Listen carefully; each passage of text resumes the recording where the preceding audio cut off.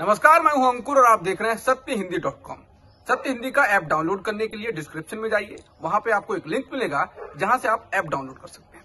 अब एक नज़र डाल लेते हैं अब तक की सुर्खियों पर। चीन के साथ सीमा विवाद को लेकर डिसंगेजमेंट पर इतने सवाल खड़े हुए कि अब रक्षा मंत्रालय को फिर से सफ़ाई देनी पड़ी है। इसने कहा है कि समझौते में भारत ने कोई भी क्षेत्र नहीं खोया है। पेंगोंगसो में वर्तमान में जारी डिसंगेजमेंट के संबंध में कुछ गलत और भ्रामक टिप्पणियाँ मीडिया और सोशल मीडिया पर की जा रही हैं। ये दावा कि भारतीय क्षेत्र फिंगर फोर तक है, स्पष्ट रूप से गलत है।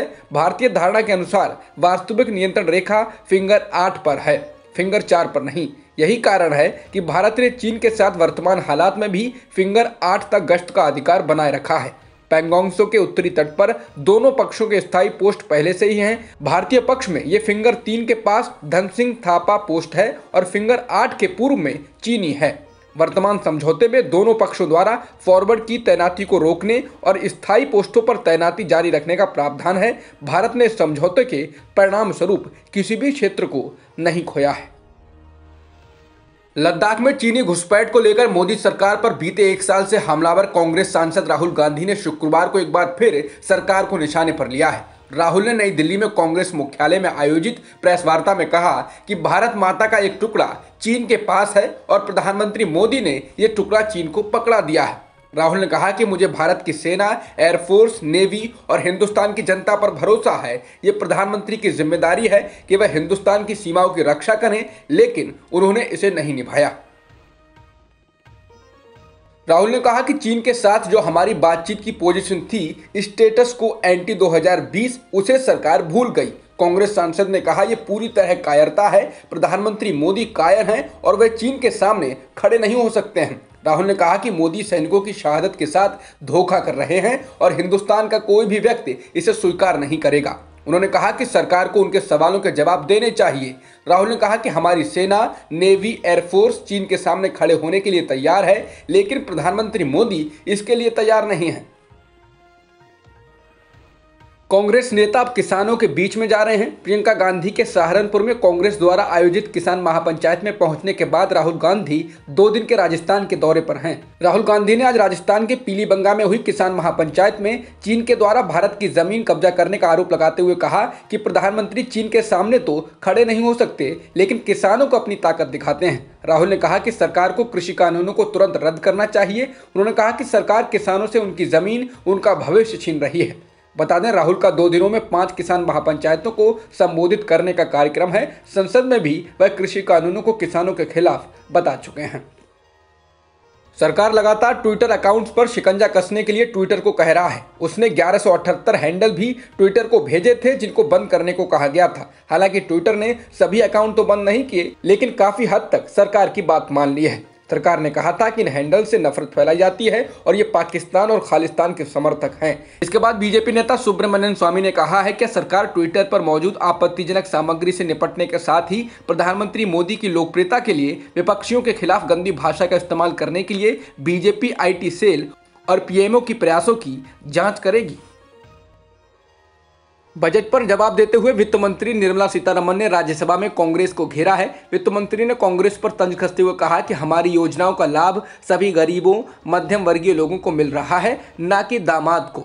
इसके साथ ही उन्होंने कहा कि विपक्ष की आदत बन गई है इस तरीके से तथ्यों को पेश करना कि कुछ नहीं किया जा रहा है, जबकि गरीबों के लिए हमारी सरकार ने कितना कुछ किया है।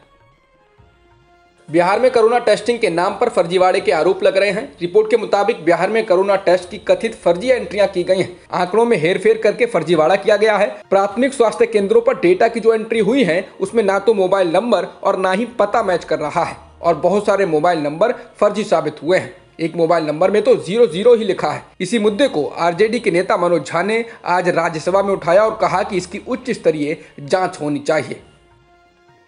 पश्चिम बंगाल में विधानसभा चुनाव से ठीक पहले मुख्यमंत्री ममता बनर्जी को एक और झटका लगा है। ममता बनर्जी की पार्टी टीएमसी को राज्यसभा सांसद दिनेश त्रिवेदी ने अलविदा कह दिया है। उन्होंने राज्यसभा में भाषण के दौरान ही टीएमसी को छोड़ने का ऐलान कर दिया।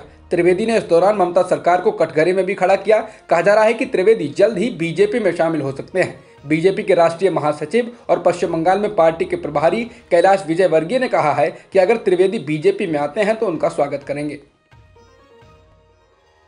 दिल्ली के मंगोलपुरी इलाके में हुई 25 वर्षीय युवक रिंकू शर्मा की हत्या के मामले ने तूल पकड़ लिया है। रिंकू की कुछ लड़कों ने एक जन्मदिन की पार्टी में हुई बहस के बाद चाकू मारकर हत्या कर दी। पुलिस ने पाँचों आरोपियों को गिरफ़्तार कर लिया है और मामले की जाँच कर रही है। आरोपियों की पहचान जाहिद, मेहताब, दानिश, ताजुद्दीन और इस्लाम के तौर पर हुई है। रिंकू शर्मा के भाई मनु शर्मा ने बताया कि वो बजरंग दल से जुड़ा हुआ था और मंगोलपुरी का हनुमान चालीसा प्रमुख था। पाँच अगस्त को राम मंदिर बनने के उपलक्ष्य में हमने इलाके में श्री राम रैली निकाली थी। तब भी हमारे साथ अनबन हुई थी। इन्होंने हमें धमकी दी थी। फिर मौका मिलते ही बुधवार को भाई को मार दिया। हालाँकि पुलिस ने अभी कहा है कि हम मामले की जाँच कर रहे हैं। धार्मिक जैसा मामला हमारी जाँच में नहीं आया है। इन लोगों ने आपस में मिलकर रोहिणी में एक रेस्टोरेंट भी खोला था, जिसको लेकर इनको नुकसान हुआ था। इसको लेकर भी मनमुटाव था। हत्या जन्मदिन पार्टी में हुई बहस के बाद की गई। हालाँकि घटना पर राजनीति शुरू हो गई है और हत्या को धार्मिक एंगल देने के भी प्रयास हो रहे हैं। दिल्ली बीजेपी के अध्यक्ष आदेश गुप्ता ने कहा कि देश की राजधानी में हुई घटना से मन अत्यंत दुखी है। श्री राम मंदिर हेतु समर्पण निधि एकत्र करने पर एक युवक की विशेष समुदाय द्वारा हत्या कर दी गई। मैं इसकी कड़ी शब्दों में निंदा करता हूँ व दिल्ली पुलिस से दोषियों के खिलाफ सख्त से सख्त कार्रवाई की मांग करता हूँ।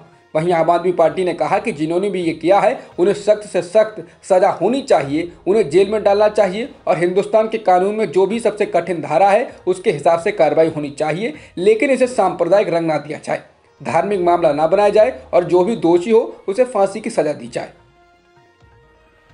कांग्रेस के वरिष्ठ नेता मल्लिकार्जुन खड़गे राज्यसभा में विपक्ष के नेता होंगे। वह गुलाम नबी आज़ाद की जगह लेंगे। राज्यसभा से आज़ाद की विदाई के बाद वह पद खाली होगा। उनका कार्यकाल 15 फरवरी को खत्म होगा। इसको लेकर कांग्रेस ने राज्यसभा अध्यक्ष एम वेंकैया नायडू को पत्र लिखा है कि सदन में विपक्ष के नेता की खाली होने वाली जगह पर खड़गे को नियुक्त किया जाए। अमेरिका के पूर्व राष्ट्रपति डोनाल्ड ट्रंप के खिलाफ संसद में डेमोक्रेट्स ने ट्रंप के खिलाफ चलाए जा रहे महाभियोग को लेकर बहस पूरी कर ली है। सांसदों ने ट्रंप को कैपिटल हिल हिंसा का दोषी बताते हुए कहा कि ट्रंप ने ही हिंसा को भड़काया। साथ ही ये भी कहा कि अगर ट्रंप को दोषी नहीं ठहराया गया तो वह फिर से ऐसा कर सकते हैं। अपना पक्ष रखते हुए डेमोक्रेट्स ने पुलिस इंटेलिजेंस अधिकारियों के अलावा दंगाइयों द्वारा कहे गए शब्दों आदि का हवाला दिया। वहीं शुक्रवार को ट्रंप की बचाव टीम सीनेट में अपना पक्ष रखेगी। अब तक की खबरों में इतना ही। बाकी खबरों के लिए बने रहिए सत्य हिंदी डॉट कॉम के साथ। सत्य हिंदी का ऐप डाउनलोड करें गूगल प्ले स्टोर पर।